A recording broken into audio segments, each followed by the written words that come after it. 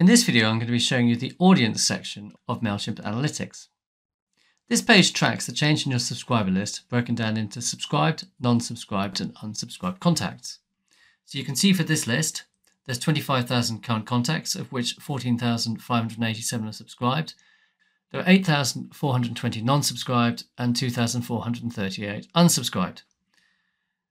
If you click on the drop-down menu, you can change the date range we can we have a graph down here of how this number has changed over time so you can get a concept of your list health.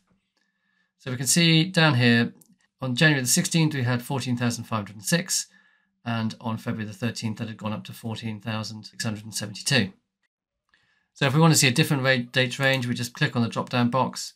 We change the date range so it changes to 90 days and then we click apply and we can see the same graph over 90 days in the What's Changed section, you can see the percentage of change in your net and average net subscriber growth.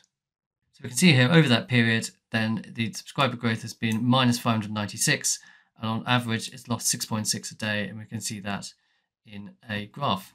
Now, if we look at the last 30 days and apply, we can see over the last 30 days there's actually been subscriber growth, net growth of 75, and that's 2.5 per day. So on this page, you can see the success of your subscriber growth strategies.